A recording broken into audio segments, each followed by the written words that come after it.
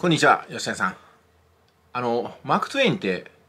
あれですよねトム・ソヤの冒険とかハックルベルフィーンの冒険。とっても面白い物語を作っていた人ですよね。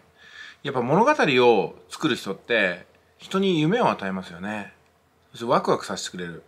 特に物語ってなんかこう書くだけじゃないですか。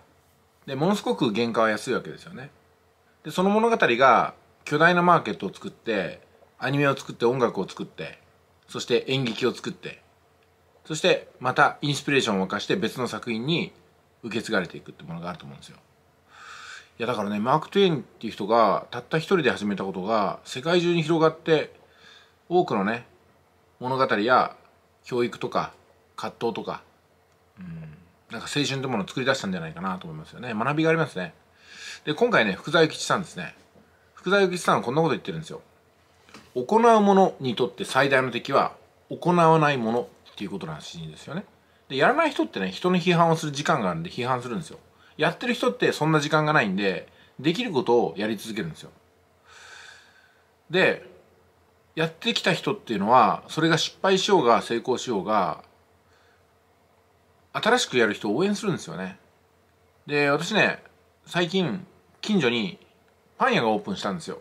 パリボシっていうパン屋さんなんですけども私は店をねどっちかっていうとうまくできなかった方なんですよね。ですんで自分の住んでる地域に新しい店がオープンするってなんかすごく嬉しいし羨ましいんですよ。だからものすごくね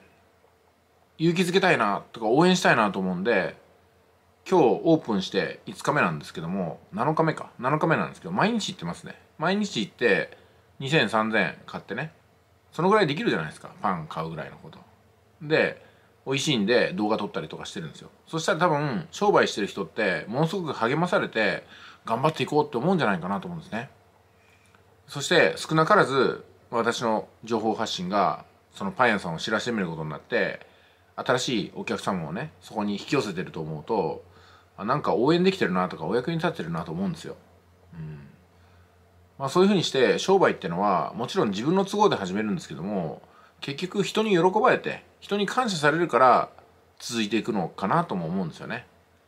えー、私がねお店をやってきてダメだった経験をもとにお話しするとやっぱやる人次第なんですよねきっとね。六本木ヒルズにもたくさんの人が集まってネットビジネスの一生懸命な取り組みをしましたけども、まあ、何をやるかじゃなくて誰がやるかなんでしょうね。